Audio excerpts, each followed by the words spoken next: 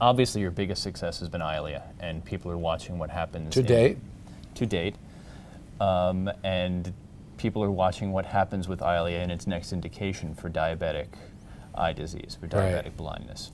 The drug really took off like a rocket. How? I mean, when are, uh, Wall Street is obviously nervous. When are you going to reach a saturation point in the current market for age-related macular degeneration, and how much do you think DME can add? Right.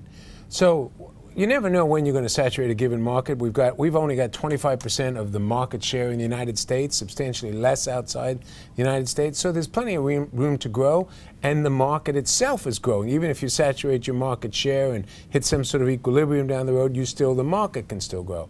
But in addition, the indications are very important. You mentioned diabetic macular edema, di- uh, eye disease, which is you know a, a terrible disease. That- Remember, there's about 25 million uh, Americans who have diabetes.